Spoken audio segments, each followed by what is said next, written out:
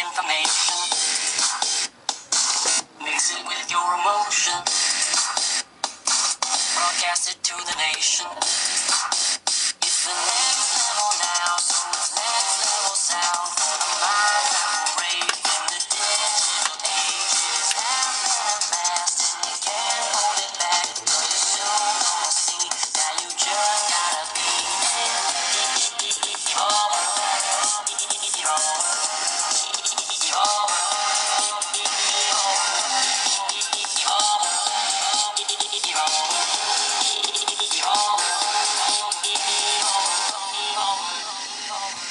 Uh,